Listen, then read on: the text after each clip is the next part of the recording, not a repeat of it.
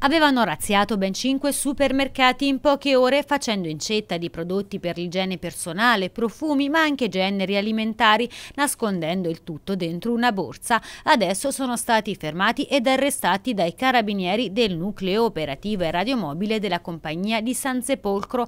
Si tratta di un 25enne e di una 23enne, entrambi di nazionalità romena, ritenuti responsabili di una serie di furti messi a segno nelle province di Arezzo e Perugia. I due, con una lunga lista di precedenti alle spalle, sono stati colti all'uscita di un noto centro commerciale di San Sepolcro mentre tentavano di portar via decine di prodotti. Gli investigatori, avendo riconosciuto la donna già gravata da un foglio di via, hanno seguito a distanza i movimenti della coppia per poi fermarli all'uscita con la borsa ricolma di refurtiva. È stata così perquisita anche l'auto dei due, una sportiva di grossa cilindrata dove i carabinieri hanno trovato un notevole notevole bottino, i militari poi sono riusciti a risalire anche agli altri furti commessi dalla coppia nelle ore precedenti, individuando i luoghi dove avevano messo a segno gli altri colpi. In totale la coppia era riuscita a svaligiare 5 supermercati per un bottino dal valore complessivo di circa 3.000 euro. La refurtiva è stata interamente riconsegnata